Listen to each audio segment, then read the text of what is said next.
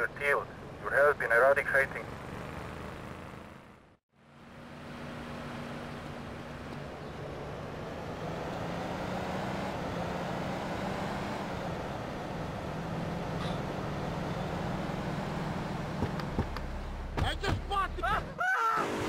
So old people can gamble naked, and poor people can lose hope in the buff. It is written, chapter 23, verse 5 of my book. He that gambles his money away is a fool, but he who believes in me will go to spend eternity in space with other affluent, well-to-do people. It's that simple. Do what I say, and you won't have to think for yourself. Oh, but I think it is, Pastor. We look around. Nudie clubs, discos, drinking. Do people want to be moral?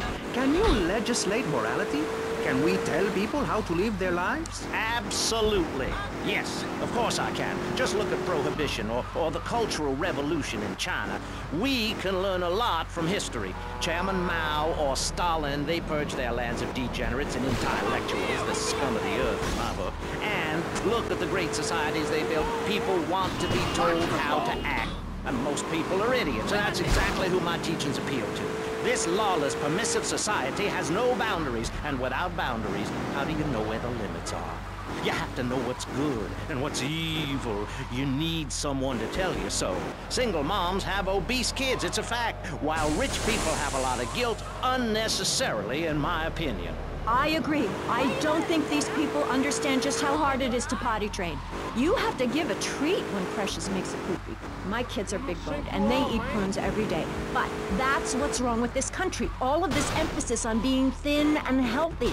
When my children are hungry, I hand them a spear and send them out to the park to catch their own food. They're learning how to be self-sufficient. Yesterday, my youngest, Jono, killed the postman, but at least he was trying. So I gave him a cuddle, Told him to hit daddy next time he comes home late smelling of cheap perfume. Okay. It's time to take a break before we hear about any more criminal acts against government employees. You're listening to Pressing Issues. Morality